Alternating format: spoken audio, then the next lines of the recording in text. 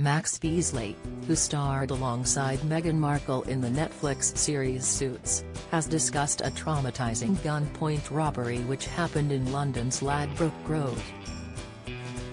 Speaking to Express.co.uk at an event for the new Apple TV Plus thriller Hijack, Max shared, I remember years ago I got robbed in Ladbroke Grove at gunpoint. I was in a chair with a gun at the back of my head.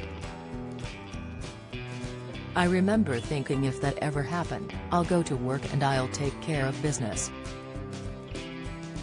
And I completely froze. Even if I'd had a weapon, I'd have said, brother I've got a gun here, man, do you want to take it? I was terrified. The 52-year-old actor had a stark reminder of the ordeal when he was talking about his latest project, Hijack. Read more.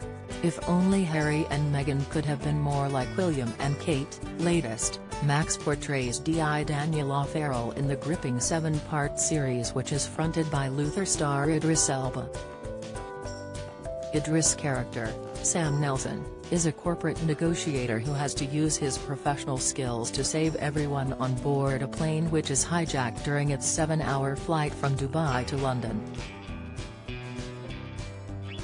Max appeared on Tuesday's Good Morning Britain ahead of the show airing on Apple TV Plus where he was asked about working alongside the Duchess of Sussex.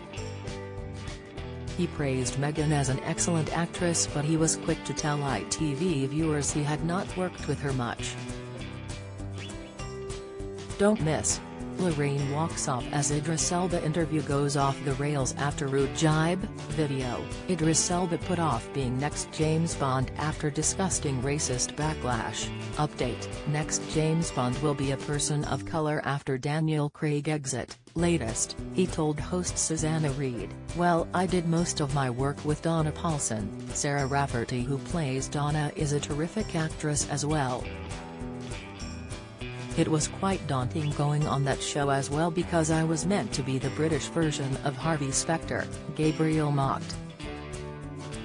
I started watching the first season of Suits, watching Gabriel and I was like, oh my god, he's both a terrific actor and also an incredibly handsome chap. Co-host Ed Balls then probed, so you're not going to tell us anything about what Meghan Markle was like? The British actor bluntly responded to the former politician, absolutely nothing, whatsoever. Max played Stephen Huntley in Suits, which aired between 2011 and 2019, for seven episodes while Meghan starred as Rachel Zane for seven seasons. Hijack's first two episodes are now available to watch on Apple TV+.